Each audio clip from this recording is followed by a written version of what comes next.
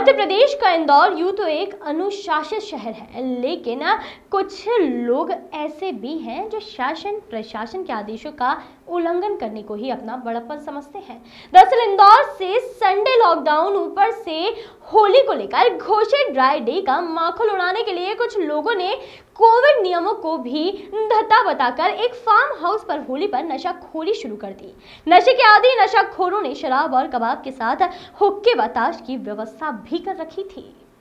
घटना इंदौर के राजेंद्र नगर थाना क्षेत्र में स्थित सनशाइन कॉलोनी में स्थित एक फार्म हाउस की है। इंदौर पुलिस को मुखबिर से सूचना मिली तो इंदौर पुलिस व प्रशासन ने बड़ी कार्रवाई करते हुए सनशाइन कॉलोनी में फार्म हाउस पहुंचकर ड्राई डे के बावजूद शराब की पार्टी करते हुए नौ युवकों को गिरफ़्तार किया है।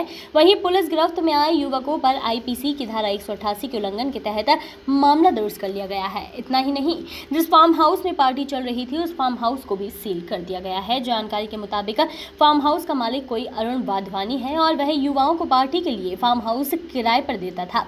रात को की गई कार्रवाई के दौरान नायब तहसीलदार रेखा सचदेव और राजेंद्र नगर थाना प्रभारी अमृता सिंह सोलंकी मौजूद थी। हालाँकि फार्म हाउस के मालिक से पूछताछ के लिए जब पुलिस ने संपर्क साधा तो उसने बताया कि वह कोरोना पॉजिटिव है। इधर पुलिस ने मौके से शराब और बियर की बोतलें, हुक्का और ताज की गड्डियाँ जब्त की हैं। एडिशनल एसपी प्रशांत चौबे ने बताया कि कार्रवाई रविवार रात को की गई है और सूचना मिलने पर पुलिस टीम ने नौ युवकों को गिरफ़्तार भी कर लिया है।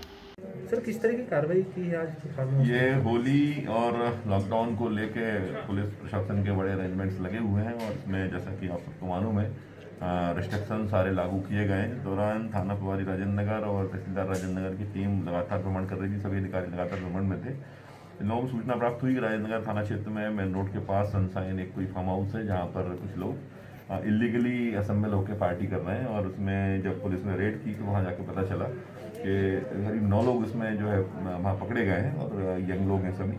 इनके पास से शराब बियर की बोतलें, ताश के पत्ते और हुक्का जो पीते हैं, हुक्का वो वो जो होता है, वो फ्लेवर वाला और इलीगल जो नशे के लिए हुक्का पीते हैं। सबकी सामग्री पुलिस को प्रथम दृष्टा वहाँ मिली है। जिसके आधार पर विभिन्न धाराओं के तहत कार्रवाई की जा रही है। ये फार्म हाउस जिन सज्जन का है उनके विरुद्ध भी पुलिस इसमें एफ़ आई करके कार्रवाई कर रही है। कितने लड़कों को सर हिरासत में वहाँ से नौ लोगों को वहाँ पे ऑन स्पॉट हिरासत में लिया गया है और जो सामग्री प्राप्त हुई है और जो गतिविधि वहाँ चल रही थी उसके अकॉर्डिंग विभिन्न धाराओं में प्राप्त पंजीबद्ध किया सर क्या बैकग्राउंड है इनका? जो पकड़ाए उसी स्टूडेंट से ये बैकग्राउंड अभी हम लोग डिटेल पूछताछ करके लेंगे। अभी बहुत ज़्यादा इनका बैकग्राउंड मालूम नहीं है इतना है कि यंग लोग हैं और व्यापारी हैं ऐसा बता रहे हैं, कुछ कुछ व्यापारी लोग आपस में करते हैं। ठीक। जो रिपोर्ट वॉइस ऑफ़ राइट